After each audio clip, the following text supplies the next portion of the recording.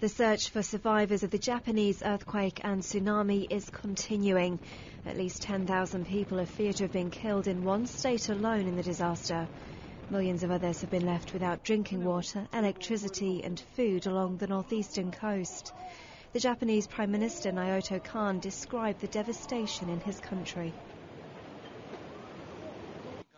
In the 65 years after the end of World War II, this is the toughest and the most difficult crisis for Japan in that period. New footage has emerged of the rescue of a 60 year old man who was found nine miles off the coast of Fukushima Prefecture. The man was swept away in the tsunami but survived after climbing onto the roof of his house where he attracted the attention of rescuers. Officials say Hiromitsu Shinkawa is in good health after being taken to hospital by helicopter. A radiation leak at a facility in Onagawa in Japan has forced the country to declare a state of emergency, but the safety agency there says there's no problem with the cooling process and that the rise in levels is linked to another plant in a neighbouring state.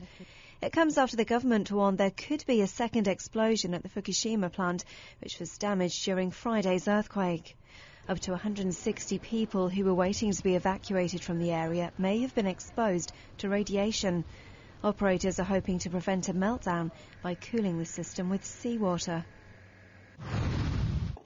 Colonel Gaddafi's forces continue to make inroads into rebel-held territory in Libya.